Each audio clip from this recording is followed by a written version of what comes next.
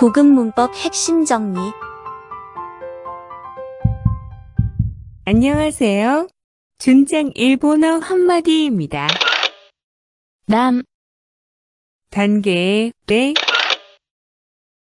예상되는 정황 또는 어떠한 사태로 변해 가고 있는 상황, 국면에 있는 단계임을 나타내는 문장체 표현입니다.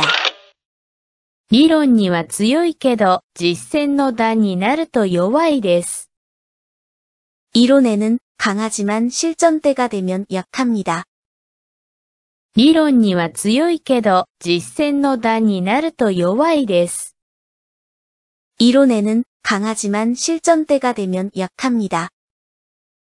理論には強いけど、実践の段になると弱いです。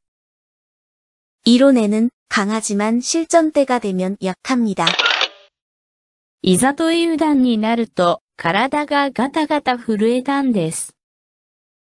막상 그때가 되자 몸이 후들후들 떨렸습니다. いざという段になると、体がガタガタ震えたんです。 막상 그때가 되자 몸이 후들후들 떨렸습니다.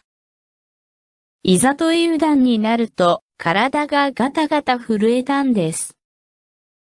막상 그때가 되자 몸이 후들후들 떨렸습니다. いざ演説を済ませて降りる段になって事件が起こったんです。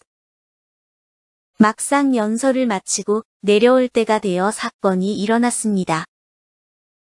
いざ演説を済ませて降りる段になって事件が起こったんです。 막상 연설을 마치고 내려올 때가 되어 사건이 일어났습니다. いざ演説を済ませて降りる段になって事件が起こったんです。 막상 연설을 마치고 내려올 때가 되어 사건이 일어났습니다. 卒業する段になってこれからの計画を立てるんです。 졸업할 때가 되어 앞으로의 계획을 세웁니다. 卒業する段になってこれからの計画を立てるんです。 졸업할 때가 되어 앞으로의 계획을 세웁니다. 卒業する段になってこれからの計画を立てるんです。 졸업할 때가 되어 앞으로의 계획을 세웁니다. まだ話す段ではないです。 아직 이야기할 때가 아닙니다. まだ話す段ではないです。 아직 이야기할 때가 아닙니다. まだ話す段ではないです。 아직 이야기할 때가 아닙니다.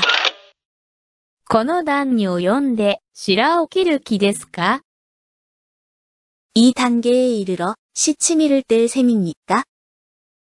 この段にを読んで白を切る気ですか 이 단계에 이르러 시치미를 뗄 셈입니까?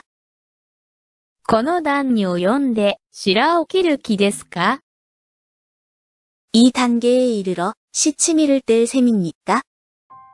この放送はご覧のスポンサーの提供でお送りします。